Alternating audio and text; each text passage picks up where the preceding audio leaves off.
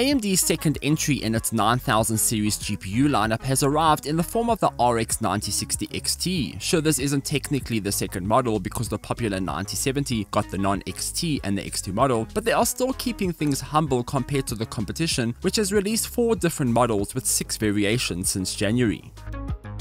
The card in this review is the Gigabyte Radeon RX 9060 XT Gaming OC. It aims to deliver 1440p gaming at 60 FPS and above thanks to FSR 4 and FSR 3.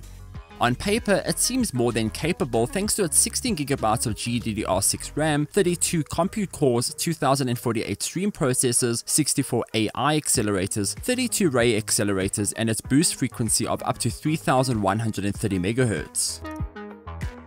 But I'll get into all the tests in a bit, for now let's quickly go through the Gigabyte card itself. Like other gaming OC models, the GPU packs a pretty simple black outer shell that just does the job.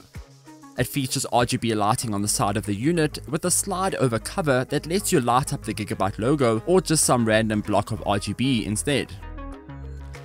Gigabyte is now shipping the GPU with the slider part stuck in place with a removable sticker.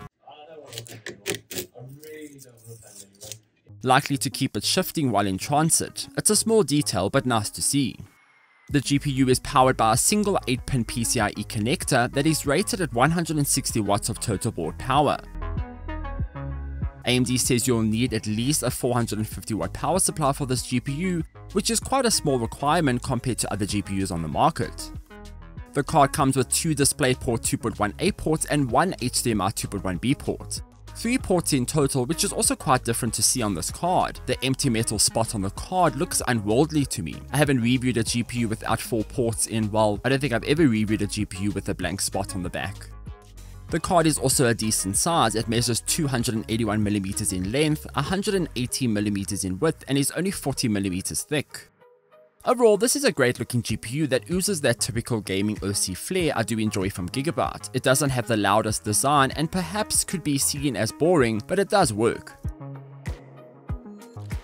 AMD claims that this GPU is targeting a $349 price tag. Of course, the RRP and what you buy this GPU for are two very different things. We have learned from the RX 9070 launch earlier this year that AMD's pricing claims are almost impossible to find in the real world, so you have to keep that in mind when shopping around for a card. Essentially, this is a mid-range GPU. The XT model of the 9060 should be considered over the non-XT model in my opinion, and although I haven't played with the non-XT model, I would recommend this only because mid-range is already borderline pushing the limits here. There's also an 8GB model of this XT card, which is also an option for those looking at 1080p gaming perhaps. But again, 8GB is kind of problematic these days depending on what you're playing. 16GB is future-proof even for 1080p gaming. I do worry that 8GB is just going to be a problem, say in 1 or 2 years time for 1080p, unless you're playing at 720p and who is playing at 720p? With that being said, I installed the Gigabyte Radeon RX 9060 XT gaming OC in my PC. It was pretty simple, the card doesn't come with any mounts or fancy extras. You just get the GPU in the box with a piece of paper. Given the weight and size of the card, you likely don't need any mount here. Once installed, I ran some tests. I did slightly tweak the card's power limit. I increased the power limit by 10% using the AMD Adrenalin software. AMD's software, while being overhauled earlier this year, does provide some incredible breathing room for tweaks to both CPUs and GPUs. These tweaks are also quick to toggle between and offer the best one-time click scenario for overclocking, and they're probably the easiest way to overclock the GPU and CPU without diving into the BIOS and all those complicated settings. In the performance tab, I clicked automatic overclock which increased the game clock by 105 MHz. I ran some tests. I targeted 1440p here because this GPU is built just for that. I did the usual FSR on and FSR off test to show you the scalability of the GPU while at the same time the raw performance.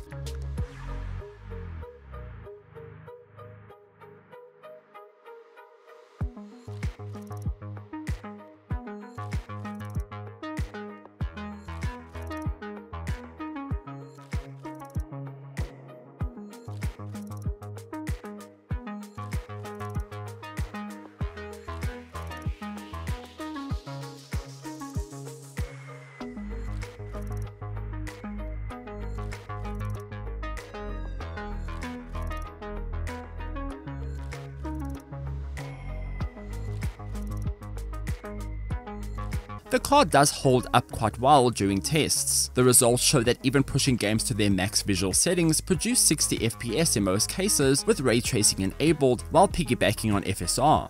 Assassin's Creed Shadows was smooth with maxed out settings with FSR on quality mode. Of course, as soon as you start moving away from FSR, the GPU does start to buckle. But keep in mind that this was running with ultra everything and ray tracing enabled, settings that aren't usually always possible without splurging on the very best GPUs.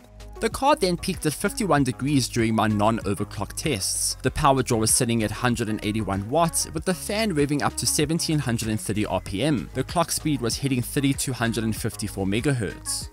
Then after enabling auto overclocking on the GPU, the clock speed averaged 3285 MHz and the fan peaked at 1839 RPM. The power draw then rose to 193 watts, but the temperature still hovered at around 51 degrees Celsius. The fan noise wasn't noticeable at all even at the higher RPMs. My case fans and cooler simply overshadowed the noise from the GPU to the point where I didn't notice it at all. It also seems that Gigabyte has sorted out the GPU fan curve from being stupidly high out of the box on these GPUs. I know from past AMD GPUs I've got from the brand, the fans would hit 100% at 40 degrees Celsius. At least that wasn't the case here. AMD FSR 4 games of course benefited more from this GPU than FSR 3 games. Sadly the roster of FSR 4 titles is still rather lackluster. Thankfully Assassin's Creed Shadows recently got updated to support the tech, and that game always makes for an awesome benchmark. I would have loved to see Doom The Dark Ages implement this tech perhaps. Regardless, the card does pack some decent performance. On paper at 1440p, this is likely seen as the replacement to the RX 7600 XT, thanks to its performance boost of anywhere between 25 to 65%. The card handles ray tracing better than the 7600 XT2. Comparing it to the closest 50 series card, the 9060 XT is better than the RTX 5060 across all tests, but it is slower than the RTX 5060 Ti. However, the differences are minimal compared to the RTX 5060 Ti. I do wish AMD would just increase their RT performance a bit because the GPU still fall behind when it comes to ray tracing.